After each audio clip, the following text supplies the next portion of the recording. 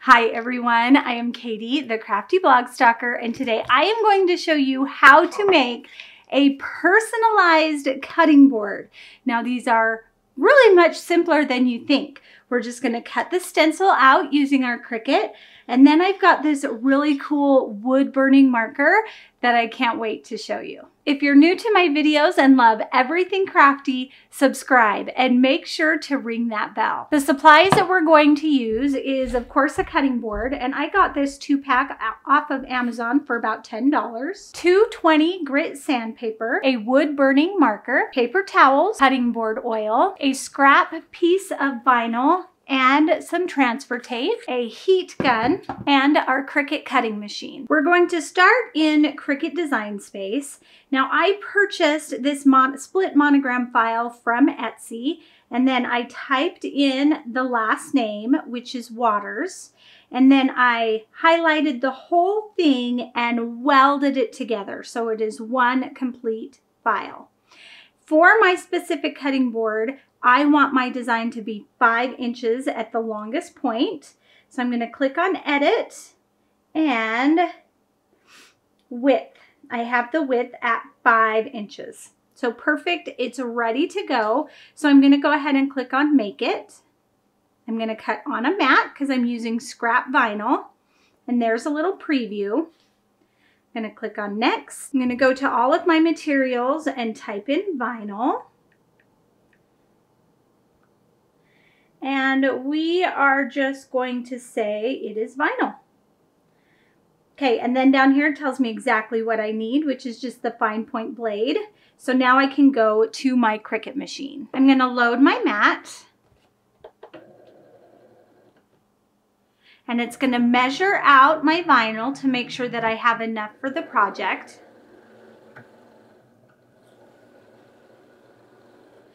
And then when this light starts to blink, it means that the machine is ready to cut. So our design is cut. So let's go ahead and trim this.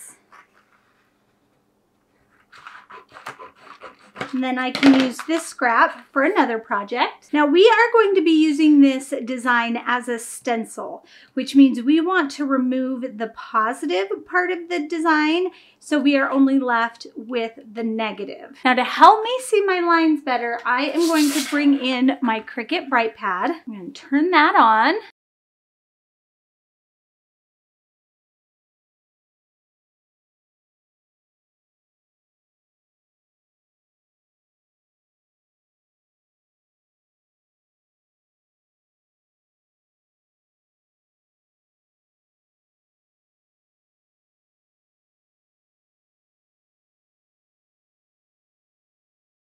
Now our stencil is almost all ready to go. I'm just gonna trim the bottom part a little bit.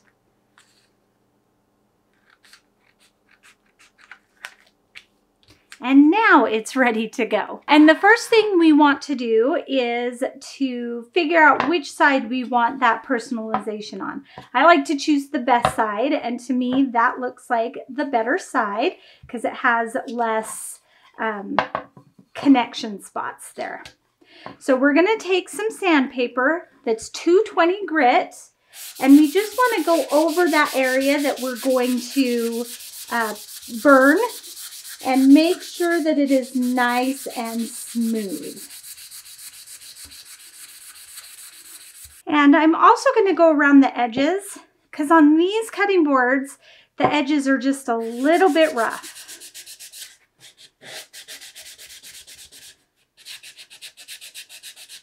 Okay, our cutting board is nice and smooth. You can totally tell, the difference between the front and the back. I'm gonna grab some transfer tape. And I want a piece of transfer tape that is about the same size as my stencil here. So we're gonna cut that about right there. Pick up that transfer tape off of the backing sheet.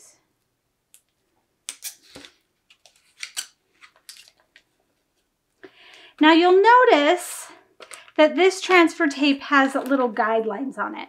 Usually I don't worry too much about the guidelines, but for this project, I am going to use them. So what I'm gonna try and do is line up a guideline right along underneath the name, so underneath waters, and that is gonna help me uh, put it on straight.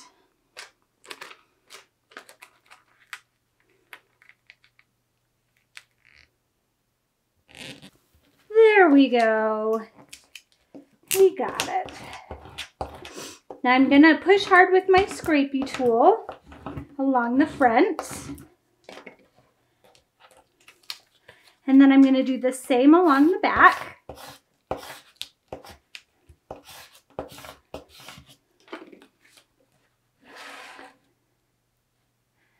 And then we're going to remove the vinyl backing paper.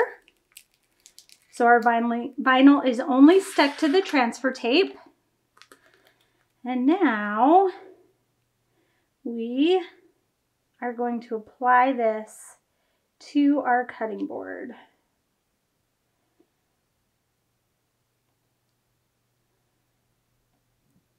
Now I'm an eyeballer, as you know.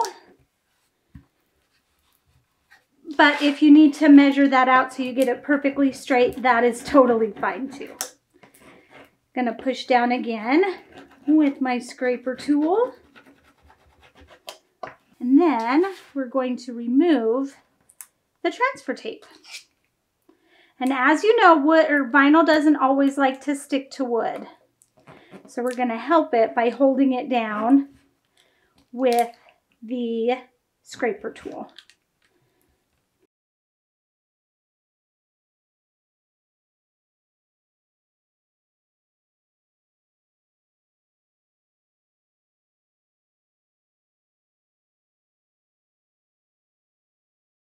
Now we're going to go around and just push all of that vinyl down.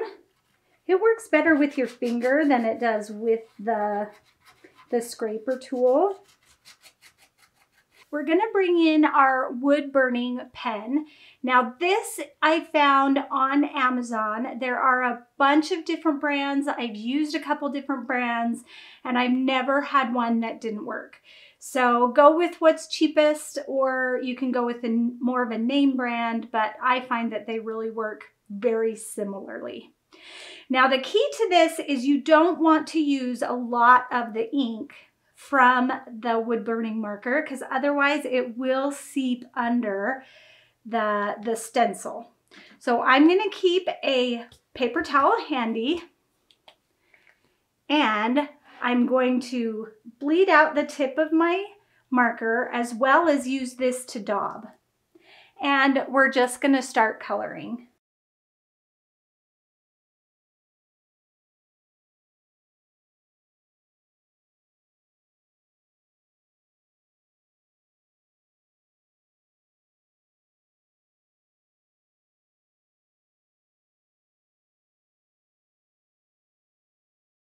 All right, so now we're done coloring and I know it's hard to tell.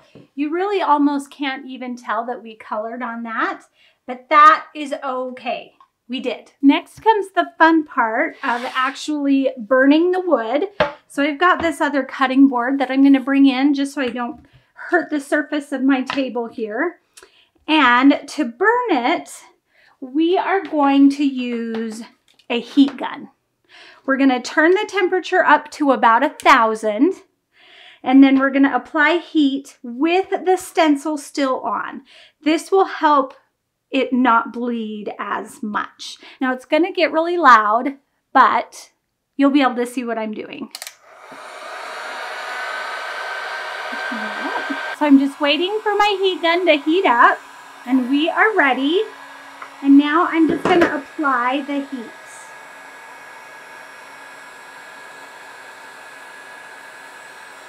And you can see how it makes the vinyl bubble. And there is the color difference there. We're just going to do that all over.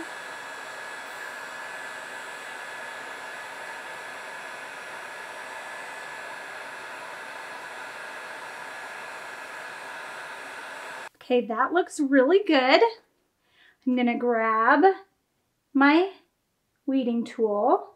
While it's still warm, I'm gonna peel it back. And you can see the burn.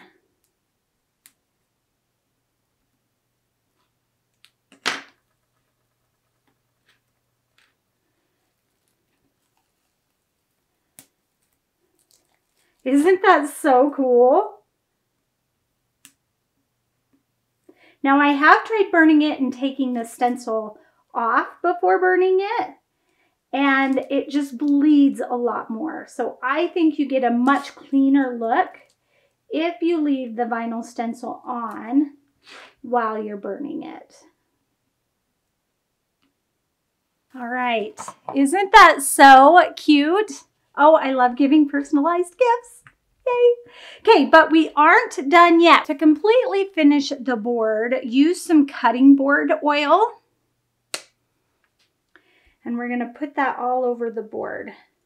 Just add a generous amount. And then with a rag or a cotton round like I have, you're just gonna press that into the wood. Now you want to let this dry for at least an hour and then you can turn it over and do the other side. And I do the edges while I'm right here. And you can see how that oil just really makes it pop. I'm gonna set this one aside to dry. And with this one, I'm going to show you how I package it to give as a gift. So I've got these 9 by 12 cellophane bags. I'm to open that up if I can. I'm to put the cutting board inside. To turn it over.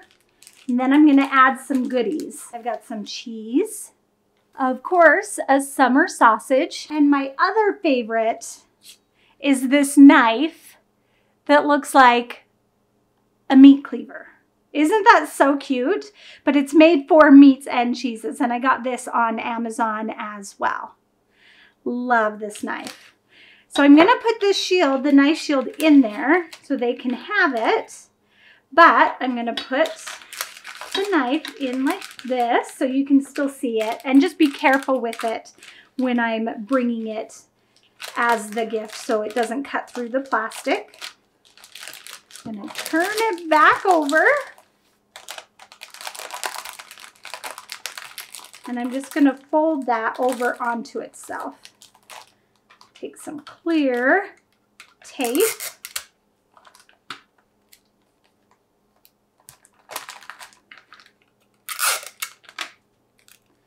Tape that down.